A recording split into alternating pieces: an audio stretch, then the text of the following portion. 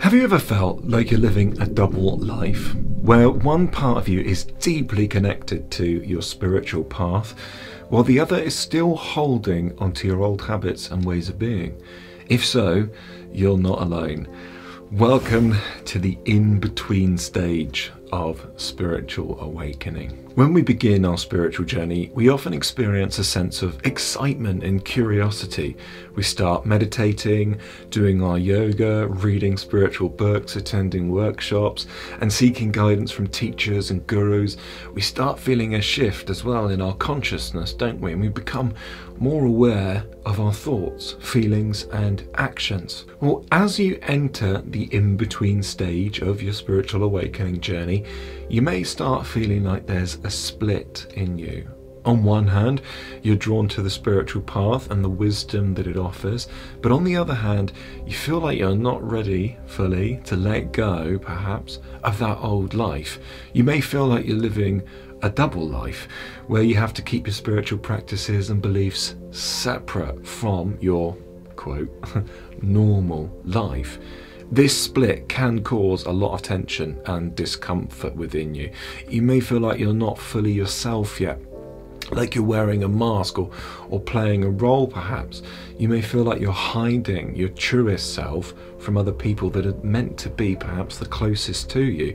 So you, you don't really feel like you fit in where you are. And that becomes incredibly lonely. You may not even be alone which is even worse sometimes, isn't it? Many people around you in your close vicinity, perhaps that you, you can't connect with any longer because perhaps the nature of their offerings of conversation is is not to the required depth in a way to satiate your soul, or perhaps just not even of any interest to you. In addition to this internal conflict, you may also be struggling with perhaps your career. Uh, you may be in a job or a profession that's really not aligned with your innermost self and that doesn't particularly reflect your values, your passions, or what perhaps your blueprint is starting to say is your purpose.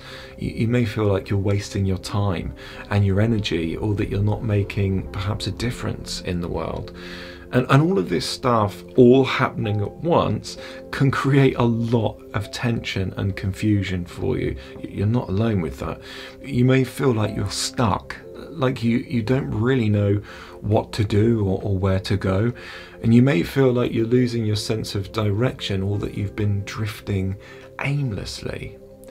The in between stage of our spiritual awakening can be a time of intense growth and transformation, but it can also be a time of great discomfort, uncertainty, and confusion because it's likely the time where you begin to drop away a little bit from those old friendship groups and begin questioning that perhaps the career or the relationship that you're in. So it can leave you feeling pretty bewildered and, and pretty unstable.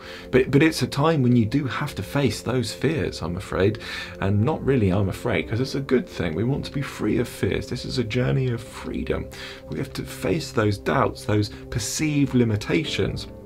And in a sense, you have to make a choice between staying in your comfort zone or stepping into the unknown. So, what happens next?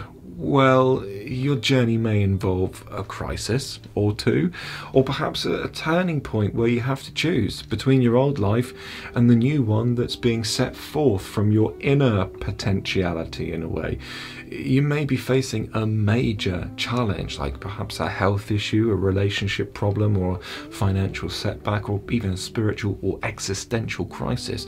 You may feel like you've hit rock bottom, truly like you've nothing left in a way to lose. And that can be quite an empowering place to be, but of course it's still full of that uncertainty and it's a little bit scary. But also, you may be facing a moment of great clarity where you begin to realize that you can no longer ignore your spiritual calling, you may feel a deep sense of purpose and mission, like you're meant to be doing something meaningful and impactful with the world.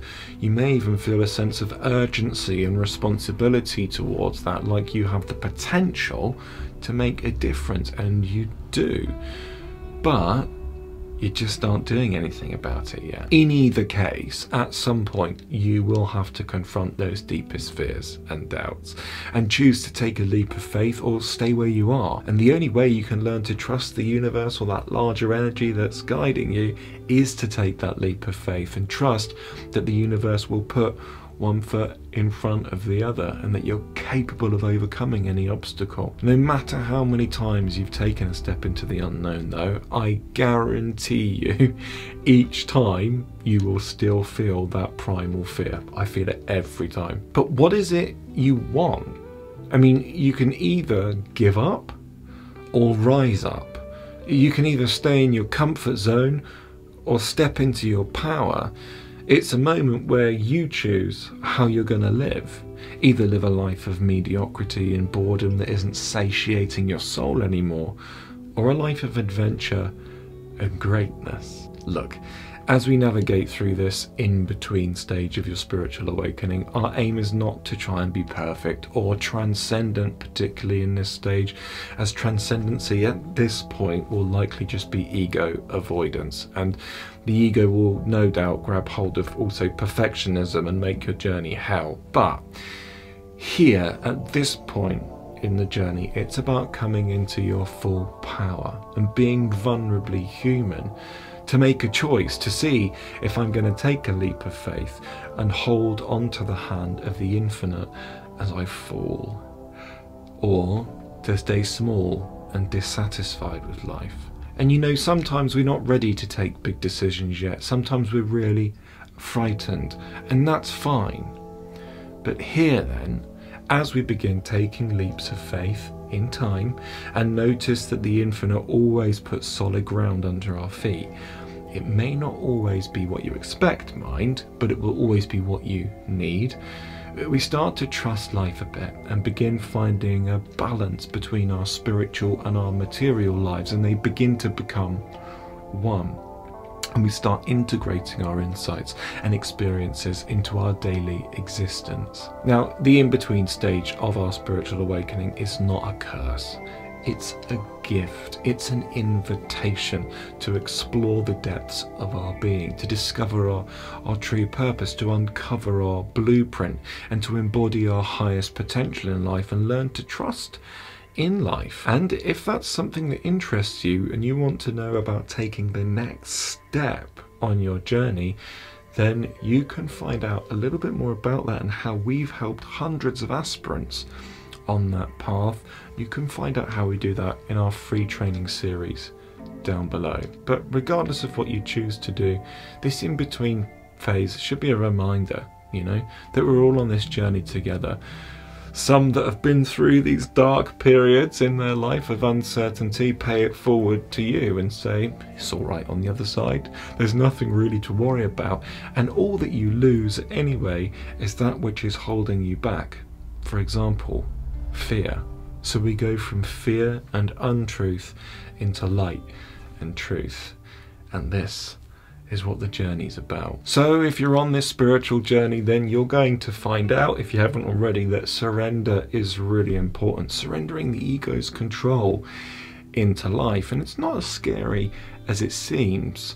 But that resistant nature inside of us can be painful uh, when it comes to surrendering to life. So we made a video about this here. This is about the end of resistance. And when you get this, surrender is effortless.